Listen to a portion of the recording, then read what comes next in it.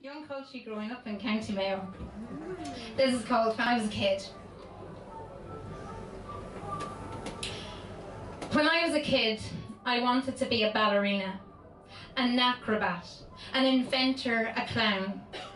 I wanted to save families from burning buildings, dig up ancient treasure that I'd find with some metal detector, perhaps the next Tara Brooch, and I wanted to become Pope or at least in the meantime between that and growing up, be picked by the pontiff up into his pope mobile, his tour truck, and kissed on the forehead. And this picture be beamed out around the world into the home of each boy, each girl.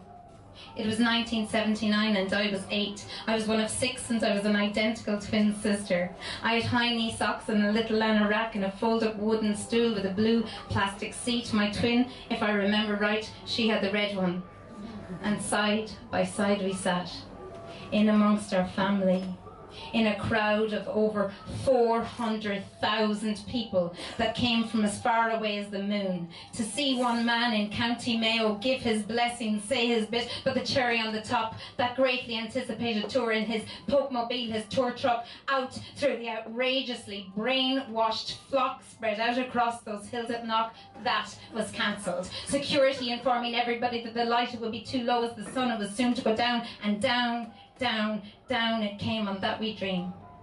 That we dream of being picked up by him. That we dream of being picked up and kissed by him.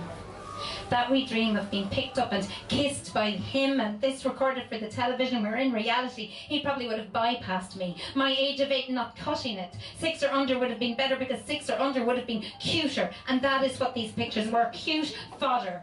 The cover of the cover-up of the systematic, global and historic sexual, physical and psychological abuse of little children, the incarceration and the forced slavery of countless women, and the stripping away from them of everything, from their names to their children, by the anointed members of that religion who call themselves fathers, brothers, sisters and mothers, and never one bit of this ever recorded for the television, and if it wasn't on the record, then it was not happening. In 1978, 1979, when I was eight, I could have never imagined how he, the Pope in Rome Almighty, how he hated me because I was just little, I was young.